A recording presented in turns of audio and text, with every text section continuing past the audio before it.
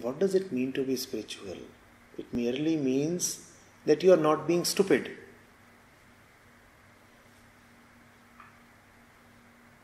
Is it necessary that you must at least sometimes be stupid? Is there such great attraction in stupidity?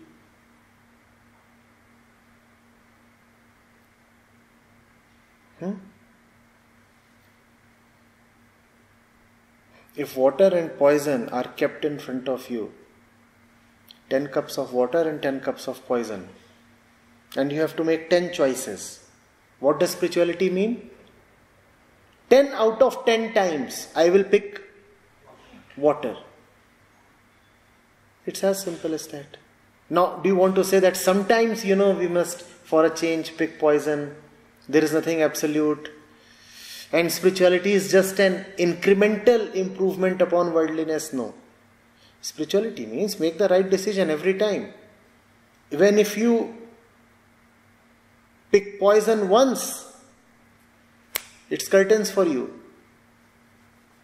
Hmm?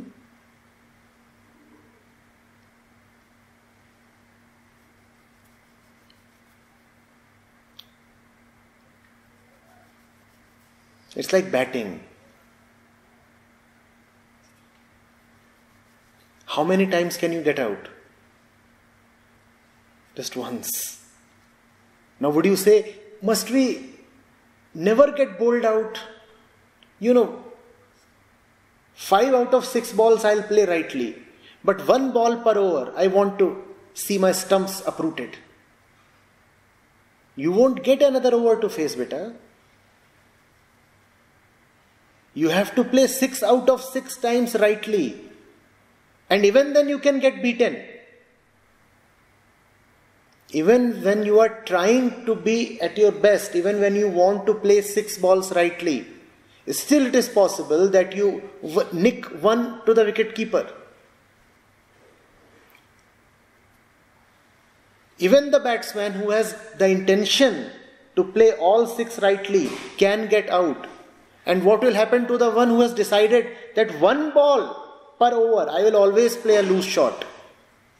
What will happen to such a batsman who has already made up his mind that one ball per over he will play a loose shot? How long will he last?